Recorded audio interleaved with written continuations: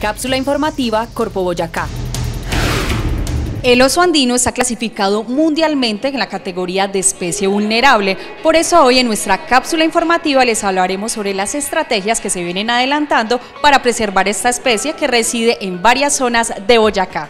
Corpo Boyacá, en conjunto con Corpo Chibor, Corpo Guavio, Corpo Rinoquía y LACAR, suscribieron el Programa Regional para el Conocimiento, Conservación y Manejo del Oso Andino en la Cordillera Oriental. Lo anterior, dado a que esta es una especie emblemática de la nación y cumple un rol ecológico fundamental para el sostenimiento de la biodiversidad del territorio cada una de las corporaciones había trabajado por la conservación de la especie, teníamos unas proyecciones en común y, unos conocimientos sobre el oso andino.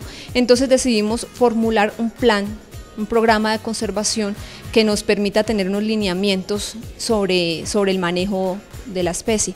Este programa eh, nos permitirá eh, tener como una hoja de ruta para implementar acciones de conservación. Las zonas de Boyacá en las que habita son en los parques nacionales de El Cocuy, Pisba, Ciscuncío Setá, páramos del Bijagual y Mamapacha y la serranía de las Quinchas. Desafortunadamente tiene unos riesgos que lo han puesto en estado eh, de, amenaza, vulnerable a la extinción, entonces por ese motivo decidimos unir esfuerzos para su protección. La invitación es a, que antes de pensar en disparar, que además es un delito castigado por la ley, eh, pensemos en tomar otras alternativas o busquemos el apoyo de las corporaciones para que les podamos socializar qué metodologías hay para para evitar eh, estos daños a, a, las producciones agropecuarias. La población de esta especie se ha visto diezmada de manera alarmante por variables como la caza indiscriminada, la expansión de la frontera agropecuaria, entre otros, que han contribuido a su declive y a la fragmentación de su hábitat natural.